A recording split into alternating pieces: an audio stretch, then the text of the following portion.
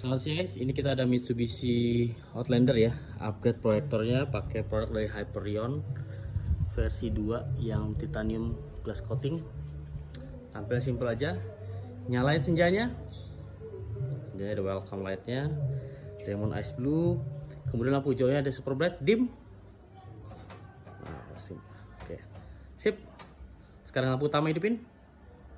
Ketika lampu utama alisnya berubah jadi warna biru ya warna biru. Sekarang kita lihat sinarnya. Papan. Dim.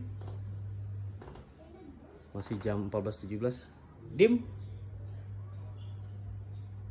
Dim. Oke matiin. Levelingnya mainin. Leveling masih berfungsi ya. Turun. Nah oke sip. Naik. Turunin lagi. Balik lagi sip. Mati lampu utama. Jadi buat teman-teman yang punya Outlander atau mobil lainnya mau custom seperti ini bisa langsung datang ke Retroverse Lampung. Oh iya ini ada hazardnya. Hazard. Sennya running dari Ruchi Vision ya. Sen super brightnya dari Ruchi Vision. Oke matiin hazard ya. Sip. Yang mau custom seperti ini bisa langsung datang ke Retroverse Lampung. Thank you